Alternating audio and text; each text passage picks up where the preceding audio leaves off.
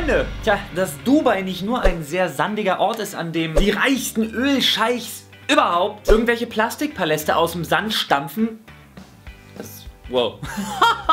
um die Touristen dieser Welt anzulocken, sondern vor allem kulturell so dermaßen nichts mit unserem schönen Zentraleuropa zu tun hat. Das muss jetzt schmerzlichst eine 29-jährige Studentin aus Wien feststellen. Diese wurde in Dubai von einem jemenitischen Emirati vergewaltigt und nachdem sie sich befreien konnte, hat sie natürlich die Polizei alarmiert. Soweit, so gut denkste. Nicht nur, dass der Beschuldigte natürlich alles abgestritten hat, die junge Frau saß daraufhin auch erstmal wegen vorehelichem Sex und Alkoholkonsum im Knast. What the fuck? Könnte man sich jetzt denken, geht aber noch besser. Es wird ihr nun geraten, den Mann zu heiraten, ja korrekt, ihren Vergewaltiger zu heiraten, um selbst einer Gefängnisstrafe aufgrund der Verstöße, die sie begangen hat, aus dem Wege zu gehen.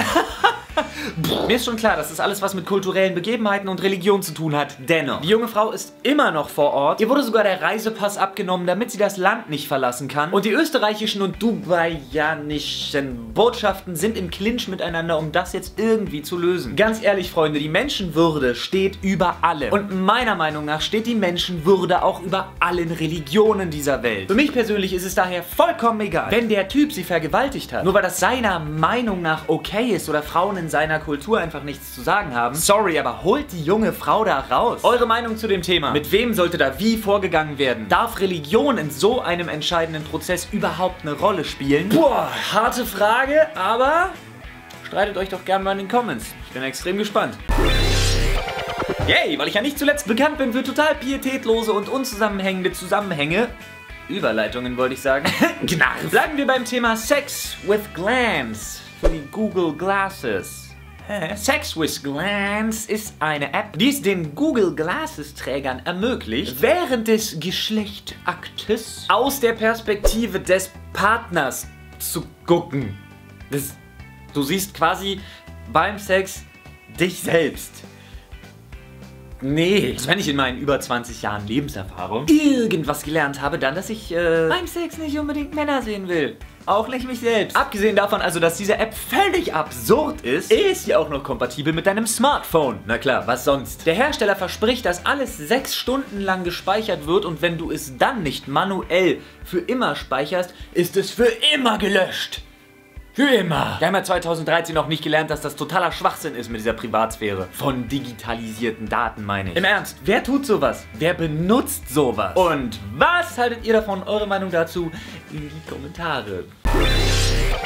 Und noch eine desaströse Nachricht. Mann, hey, ich glaube, ich mache am Donnerstag mal so ein Best of Heroes of the Month oder was weiß ich. In good old California, the Sunshine State schlechthin, wie man so schön sagt, da gehen viele Leute gerne abzappeln und Party machen. Dabei fließt Alkohol, Drogen werden konsumiert, hab ich mal gehört. Und wenn sich so eine Situation mal richtig schön hochgeschaukelt hat, dann dauert es manchmal nicht lange und die Scheiße ist richtig schön am Abgehen.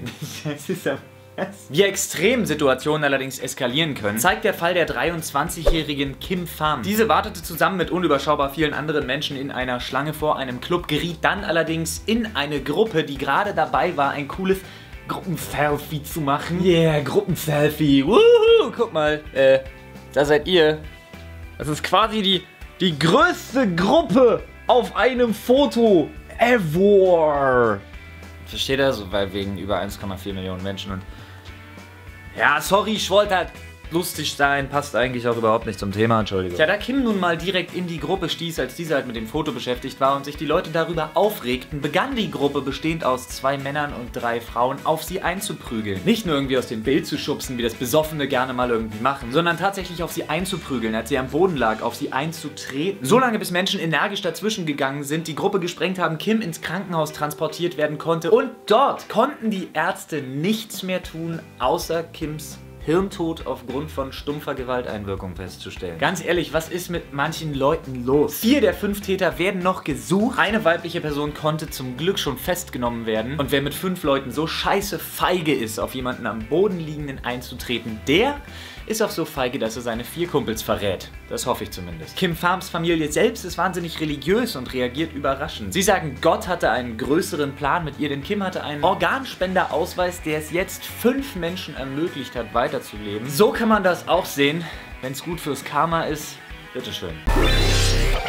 Zum Schluss noch was, was ich so ein bisschen witzig finde, ehrlich gesagt. Und wo wir gerade bei Karma waren, passt das noch umso besser. Am Wochenende war mal wieder eine päpstliche Messe in Rom. Kommt da öfter vor. Zum Ende dieser Messe hin hat der Papst mit zwei ausgewählten Kindern zwei Friedenstauben in die Menge gleiten lassen wollen. Das Karma allerdings hat sich so gedacht, ey, Vendetta! Die Kirche hat so viel mit Frieden am Hut wie, was weiß ich, Kim Jong-un oder Hitler. Oh, Kirchen-Hitler-Vergleiche, da kriegt er wieder auf den Sack. Diese päpstlichen Friedenstauben wurden nämlich instant zerpflückt. Von einem schwarzen Raben und einer Möwe. Okay, die ist nicht wahnsinnig symbolisch, aber von einem schwarzen Raben. Und wenn wir mal ehrlich sind, das ist echt Ziemlich witzig. Okay, die armen, armen Tauben. Ihr habt recht. Aber ich, denen geht's bestimmt gut. Denen geht's super. Ich bin mir sicher. Die haben ein bisschen ne, Dresche gekriegt, aber denen geht's super. Dennoch, von der Symbolik her, finde ich, Kirche, Friedenstaube, schwarzer Rabe, habe ich selten so gelacht wie bei dieser Meldung. Und damit euch noch viel Spaß heute. Es schneit so viel und ich muss gleich raus. Ah.